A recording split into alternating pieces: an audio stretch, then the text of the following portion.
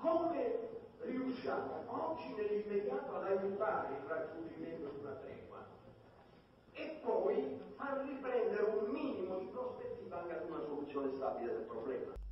Un conflitto di questa portata non si risolve uccidendo un certo numero di dirigenti e di militanti.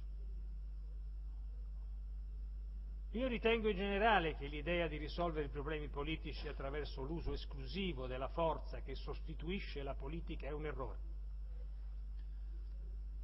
Israele ha già eliminato un intero gruppo dirigente di Hamas attraverso la politica degli assassini mirati, a cominciare dal fondatore del movimento. Il risultato di questa prima fase è stato che Hamas ha vinto le elezioni e si è rafforzato, non si è indebolito, ha trovato un altro gruppo dirigente. Nella logica di un movimento fondamentalista il martirio è alimento delle sue ragioni. arabo